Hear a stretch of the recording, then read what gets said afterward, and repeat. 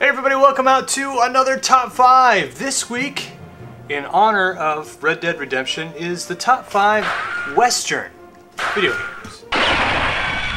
Now, not only are, are we excited about this game coming out, especially since we can round up our posse, but so is Angry Joe. Yeah, That's Angry right. Joe. Howdy, partner. My name's Angry Joe, and this here, this here is the game I've been waiting for all year long. Now, we do have a couple of honorable mentions. Andy, what honorable mentions do we have right now? Well, um, I think that uh, definitely a good honorable mention is Gun Dot Smoke. Gun Dot Smoke. now, I remember reviewing this uh, many years ago, and uh, you know, Gun Dot Smoke was because of, of Gunsmoke TV series. Right, Couldn't, but anyway, it was a ripoff of Commando, but totally fun game. Much, shooter. much better than Commando too. It, it had a lot more elements to it because you could upgrade your stuff, um, and you could pick up a lot more the power horses, the wanted signs, and you can buy more stuff. Cool game, uh, especially for the NES. Really cool game. Uh, Joey.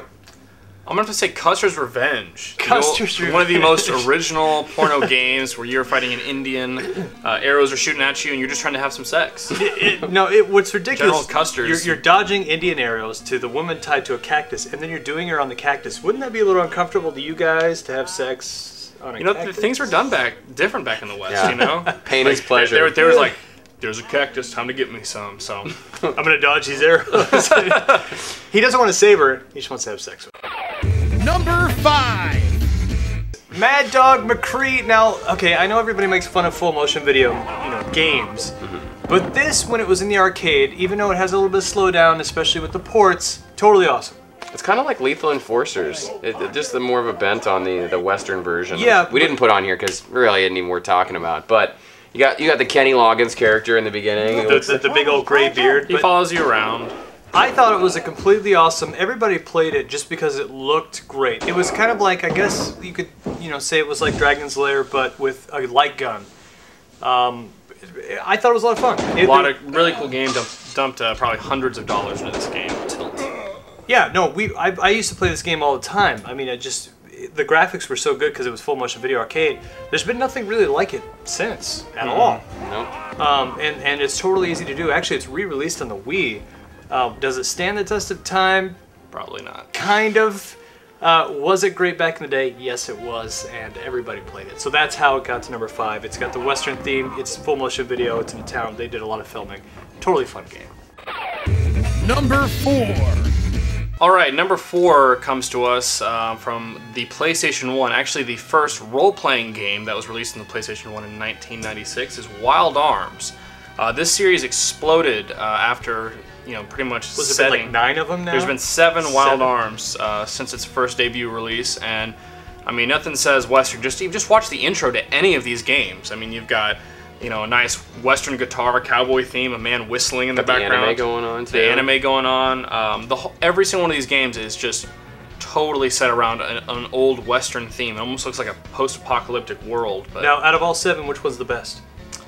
I'm, al- I'm gonna have to say Wild Arms one was good, but Wild Arms two. With Wild Arms 2 is the Wild? Arms 2, uh, just, you know, spoiler alert, because of the whole Lord Blazer battle at the very end, where you are literally invincible and you just waste this ancient demon uh, just for the fun of it. Like, it's awesome. Like, you're just like, you're, you take off, like, instead of like four nines, it's like 17 nines, and it's just, you literally are invincible, and it's just, it's awesome. Awesome Well, game. And I thought too that they, they really did reinvent uh, role playing. I think in the game, and and uh, and they really took the time to look at all the details in the game. You know, so that you're really dealing with like you feel like you're more in a Western game than just like, you know, let's slap a Final Fantasy version like a Western. It really is a totally different feeling role playing game. Right, you know, armor, you know, you instead of just like a normal helmet, you have a 10 gallon hat. Uh, you had tools that you could use through the games. You could throw like bombs and do different things like that. So it's kind of like almost like a Metroid or, or Zelda feel f- with it, as well as the real time battle system as well. So it's really cool. Really cool game. Number three.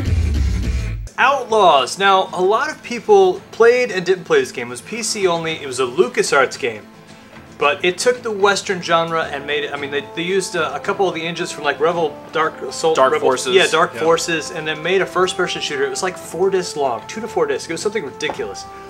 But it, it just epitomized the. It was like playing a movie at the time when it did come out, and basically you had crazy guns, you had wild, you know, big environments to explore, and it was ahead of its time when it came out. I don't think it was that popular or big of a game because you know it was all about Star Wars and, and uh, futuristic shooters at the time. But if you've never played this game, I'm not sure if it's on Steam. If it is, download it. I mean, it was a completely amazing western. The story was exactly like a you know you know one of the uh, other western movies. I can't think of a Oh, all the spaghetti western stuff like Fistful of Dollars. yeah, yeah. Anything with Clint Eastwood. Good, the bad, and the ugly. That kind of thing. You're you're an ex like sheriff, and somebody steals your family. Mm-hmm. You know that kind of thing. So if it, it fit the epitome of a western, the graphics at the time were completely amazing. The sound effects were great. I I totally recommend this game, especially if you're a classic first-person shooter fan. Um, and it was multiplayer. There was some crazy multiplayer. I used to play against my dad when uh, when we used to have it. But uh, an amazing game nonetheless, and uh, it, it epitomizes Western video games. Number two. Oregon Trail. It's now, so old.